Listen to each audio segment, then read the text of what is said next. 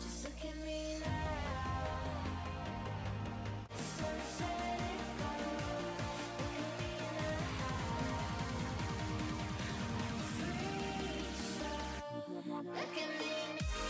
Hey Foxies, my name is Simon Fox. If you're new to my channel, make sure to subscribe and hit the notification bell so you get notified when I upload. I upload every Wednesday and Saturday. So yeah, if you're returning, welcome back. Like always, this is never about subscribers nor about money, but about love and light. So with that being said, today we're going to be doing an easy Valentine's eyeshadow makeup tutorial. So let's get straight into it. I went straight in with my Jeffree Star concealer and setting it with the white glucose from the blood sugar palette. I always do this for all my looks just because I just love using that combo. Uh, if y'all have watched my previous videos, y'all know why. Um, and here I'm taking the red from the James Charles palette, you guys. Y'all can use any red y'all have, um, but I'm taking the one from the James Charles palette and just putting that on my crease and blending it out. So obviously since I have hooded eyes, I take mine higher than my crease normally would go. So that way basically the shades are visible and I'm not taking them away when I cut my crease. If y'all have hooded eyes, eyelids, y'all know exactly what I'm talking about.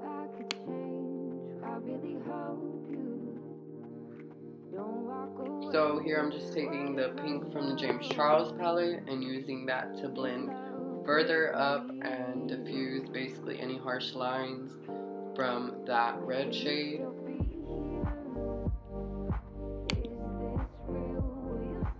You want to make sure whenever you're blending to blend the shades together and make sure that there's no harsh lines in between them. So here as y'all can see I took a deeper red shade so more of like a maroon and just putting that in the crease to deepen up the crease a little bit more and making sure that that's really blended as well. So just using that shade to deepen up that cut crease so that way whenever I cut the crease it basically has a really good contrast in between where the crease is cut and where the shades begin. I feel like when you add a darker shade in between the cut crease and the shades it adds more contrast and y'all already know I'm all for that. I love that so much.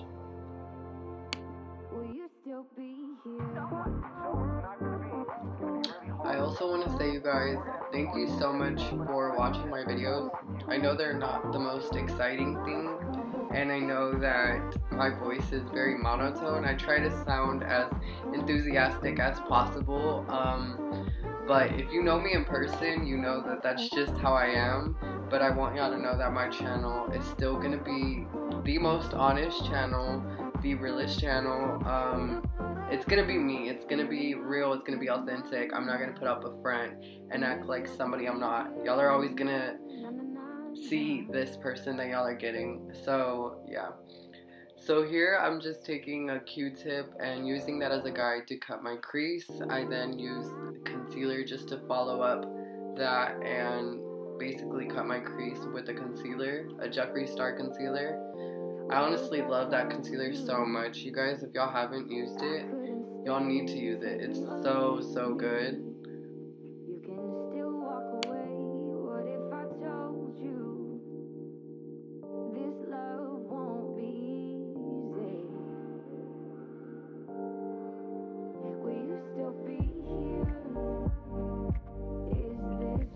As y'all could see, that's the reason I use the Q-tip method. If y'all haven't tried it out, please let me know if you like it in the comments. I would love, love to know. And if you've tried it, let me know if you like it. Um, I feel like it just, it guides me so perfect with my hooded eyes on where my cut crease needs to be. And I feel like my cut crease comes out so sickening. Here I'm just taking the glitter Divine from the Thirsty palette, the pressed glitter. I honestly love this palette so, so much. Like, this palette is, I think they're not making it anymore. I think he said that it was not being made anymore, which is really, really sad because I honestly love this palette so much. So if you didn't get your hands on it, I feel so bad for you because these The glitters in here are sickening. Like they're amazing. Obviously, y'all see how just effortless they go on and just how creamy they are. They honestly are so soft. Here I'm just taking that same maroon shade that I used to deepen up that where the crease is basically. Um, and I'm, I used that to blend in the shadow and the glitter. And now I'm taking my favorite liner, the Kat Von D liner. I love any liner that is black, honestly. I love all kinds of liners actually, but but this has been my favorite liner, go-to liner um, since I've gotten it. I don't know why. It just works really, really well for me, and I don't feel like it moves, it smudges, any of that. So if you're looking for an all-day liner, this is the liner. By the way, you guys, I use the tape method so that way I get my liner to be bomb AF. Um, if you haven't tried the tape method, I would highly suggest it. And yeah, let me know in the comments if you have tried it.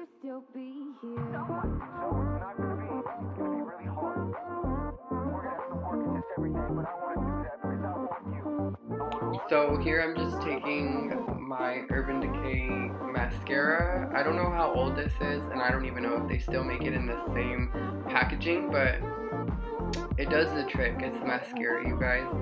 Um, I usually only do mascara in my looks, but today I wanted to be a little bit more extra because this is a Valentine's look, and yeah, I wanted it to be a little bit more spicy.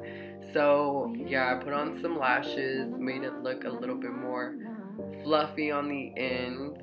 I didn't add any lashes to the basically the what is it the beginning of my eye um, just because I wanted that fluttery look at the end.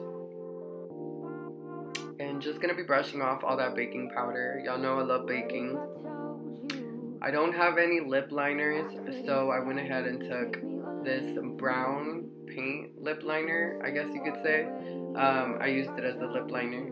I got this idea from Ashley. Thank you so much, Ashley. She had put this lip liner on me the other day that she did my makeup, basically. If y'all haven't checked out that video, make sure to go check it out. I feel like it's two videos previous to this one. It's a really, really good video. Pretty much any video that I've done with her is hilarious. It's funny. I feel like I act more like myself because I can talk to somebody. I'm not talking to a camera. But yeah, so here I just lined my lips, obviously a little bit bigger than my own lips because I don't I don't have big lips like that. But this definitely makes the illusion look like my lips are big and luscious. And here I'm taking the shade Lolita from the Kat Von D lipsticks. And I honestly love, love, love this lipstick so much. Um, it is matte, but I always add gloss to it and it just just wow y'all will see at the end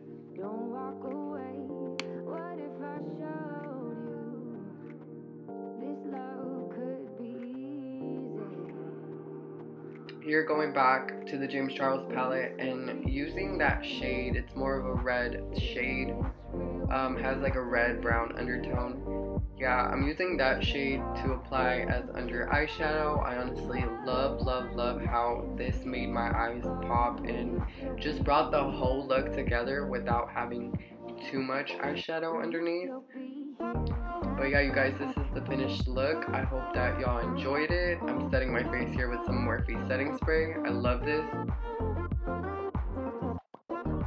And this wraps up the Valentine's look, you guys. I hope y'all have a happy Valentine's. If you recreate this, please tag me. Make sure to leave some love, some likes, subscribe if you haven't, and I'll see y'all Saturday. Bye, Foxies.